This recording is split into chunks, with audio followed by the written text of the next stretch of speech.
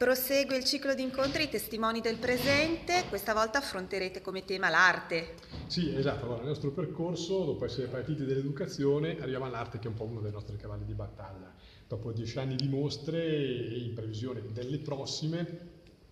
con l'incontro di, di, giovedì 18 riaffrontiamo appunto questo tema. Il tema è molto rappresentato perché noi abbiamo questa idea, l'arte è un'esperienza in atto, cioè noi e i ragazzi per essere catturati dall'arte dobbiamo fare l'esperienza della bellezza. E allora partiremo con Giotto, la Cappella degli Scrovegni,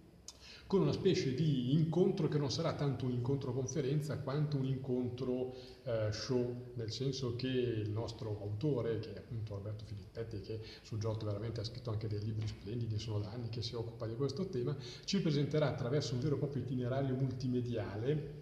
il fascino che si ha appena ci si accosta e si entra all'interno della Cappella degli Scrovegni. D'altra parte l'arte va vista più che raccontata perché è proprio un'esperienza, appunto è un'esperienza in atto. Noi proporremo questo alla sera, aperto alla città, e poi alla mattina, ormai come solito nella nostra formula, lo riproporremo anche ai ragazzi